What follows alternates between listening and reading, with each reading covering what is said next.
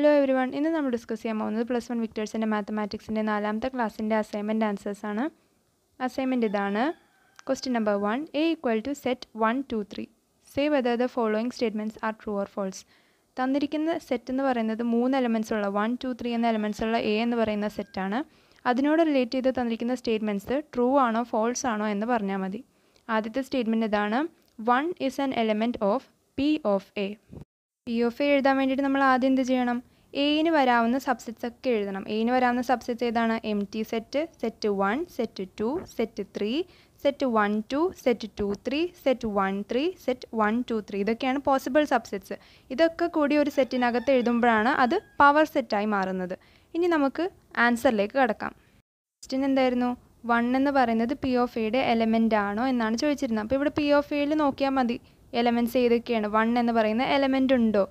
ഇവിടെ വൺ എന്ന് പറയുന്ന എലമെന്റ് ഇല്ല. പക്ഷേ സെറ്റ് വൺ എന്ന് പറയുന്ന എലമെന്റ് ഉണ്ട് അല്ലേ? ഇവിടെ വണ്ണ് ഒറ്റയ്ക്ക് എഴുതിയിട്ടുള്ള ഒരു എലമെന്റ് ഇല്ല. പക്ഷേ ഒരു ബ്രേസസിനകത്ത് എഴുതിയിട്ടുള്ള എലമെന്റ് ഉണ്ട്. ആണല്ലോ? അപ്പോൾ വണ്ണ് ഇവിടെ ഇല്ല. അതുകൊണ്ട് ഇത് ഫോൾസ് ആണ്. ഇപ്പോൾ സെറ്റ് വൺ എന്നാണ് തന്നിരുന്നെങ്കിൽ അത് ട്രൂ ആയേനെ. പക്ഷേ ഇവിടെ വൺ എന്ന് മാത്രമേ തന്നിട്ടുള്ളൂ. അതുകൊണ്ട് ഇത് ഫോൾസ് ആണ്. നമുക്ക് രണ്ടാമത്തെ സ്റ്റേറ്റ്മെന്റ് എന്താണെന്ന് നോക്കാം. അതായത് ഇവിടെ തന്നിരിക്കുന്നത് എന്താണ്? Set one is an element of P of A set one അപ്പോൾ ഇവിടെ തന്നിരിക്കുന്നത് നേരത്തെ തന്നത് വൺ എന്ന് മാത്രമേ തന്നിട്ടുണ്ടായിരുന്നുള്ളൂ. ഇവിടെ സെറ്റ് വൺ എന്നാണ്. ഇത് എലമെന്റ് ആണോ? പി ഓഫ് എയുടെ എലമെന്റ് ആണോ? എന്നാണ് ചോദിച്ചിരിക്കുന്നത്. അപ്പോൾ നോക്കിയേ set one is an element of P of A അതെന്താണെന്ന് നോക്കാം. സെറ്റ് വൺ എന്ന് പറയുന്ന എലമെന്റ് പി ഓഫ് എയിൽ ഉണ്ടോ എന്ന് നോക്കാം. ഇവിടെ പി ഓഫ് എയിൽ നോക്കൂ. ആ ഉണ്ട്. എം ടി സെറ്റ് കഴിഞ്ഞിട്ട് എഴുതിയേക്കുന്ന എലമെന്റ് ഏതാണ്? സെറ്റ് വൺ അല്ലേ? അപ്പോൾ ഈ പവർ സെറ്റിനകത്ത് സെറ്റ് വൺ എന്ന എലമെന്റ് ഉണ്ട്. അപ്പോൾ അത് എന്താണ്? ട്രൂ ആണ്. സ്റ്റേറ്റ്മെന്റ് ശരിയാണ്. അപ്പോൾ നമ്മൾ അവിടെ എന്ത് എഴുതണം? ട്രൂ എന്ന് എഴുതണം. മൂന്നാമത്തെ സ്റ്റേറ്റ്മെന്റ് നോക്കാം. മൂന്നാമത്തെ സ്റ്റേറ്റ്മെന്റ് ഇതാണ് set of set one is an element of P of A അതായത് സെറ്റ് വൺ എന്ന് പറയുന്നത് ഒരു സെറ്റിനകത്ത് ഉൾക്കൊള്ളിച്ചിട്ട് അത് പി ഓഫ് എയുടെ എലമെന്റ് ആണോ എന്നാണ് ചോദിച്ചിരിക്കുന്നത്. Set of set one is an element of P of A അപ്പോൾ പി ഓഫ് എയിൽ ഇവിടെ നോക്ക്. സെറ്റ് ഓഫ് സെറ്റ് വൺ എന്ന് എഴുതിയിട്ടുണ്ടോ?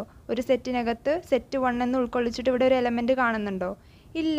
ഇവിടെ തന്നിരിക്കുന്ന എലമെന്റിൽ empty set set one set two അങ്ങനത്തെ എലമെൻസേ ഉള്ളൂ. സെറ്റ് ഓഫ് സെറ്റ് വൺ എന്നുള്ള എലമെന്റ് ഇവിടെ കാണാൻ പറ്റുന്നില്ല. അപ്പോൾ അതെന്ന് പറയുന്നത് എന്തിന്റെ എലമെന്റ് അല്ല? പവർ സെറ്റിന്റെ എലമെന്റ് അല്ല. അപ്പോൾ നമുക്ക് എന്ത് എഴുതാം? ഫോൾസ് എന്ന് ആൻസർ എഴുതാം ഈ ഒരു സ്റ്റേറ്റ്മെന്റിന് set of set one is a subset of P of A ഇവിടെ തന്നിരിക്കുന്നത് എന്താണ്?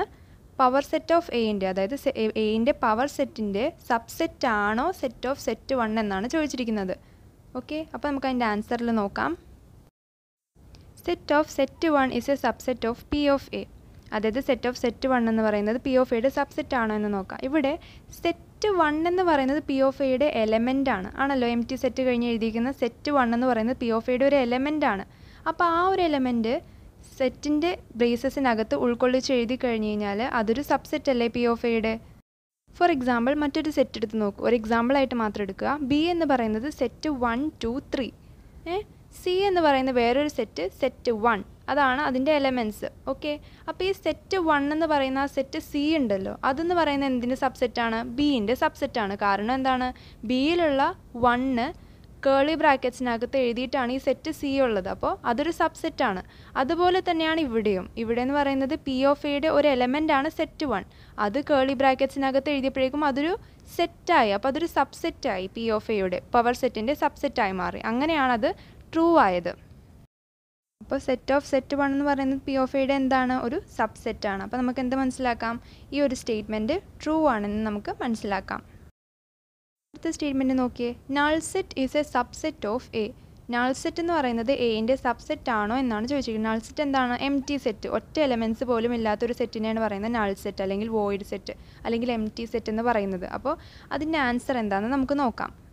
Null set is a subset of A അതാണ് നമ്മുടെ സ്റ്റേറ്റ്മെന്റ് അപ്പോൾ ഇതിനെ നമുക്ക് എയിന്റെ സബ്സെറ്റ്സ് എല്ലാം കണ്ടുപിടിച്ചിട്ട് അതിനകത്ത് നൾ സെറ്റ് വരുവാണെങ്കിൽ നമുക്ക് ട്രൂ എന്ന് എഴുതാമല്ലോ അപ്പോൾ നമുക്ക് എയിന്റെ സബ്സെറ്റ്സ് കണ്ടുപിടിച്ച് നോക്കാം. അപ്പോൾ എയിന്റെ സബ്സെറ്റ് കണ്ടുപിടിക്കണമെങ്കിൽ എയിന്റെ സെറ്റ് ഏതാണ്? A is equal to set one two three അപ്പോൾ അതിന്റെ സബ്സെറ്റ്സ് ഏതൊക്കെ വരും?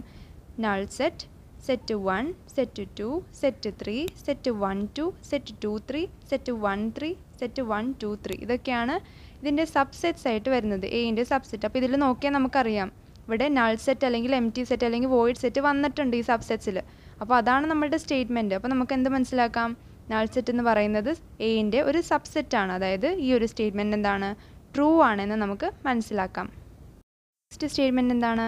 Null set is an element of P of A അതായത് നൾ സെറ്റ് എന്ന് പറയുന്നത് പവർ സെറ്റിന്റെ ഒരു എലമെന്റ് ആണെന്നാണ് പറയുന്നത്.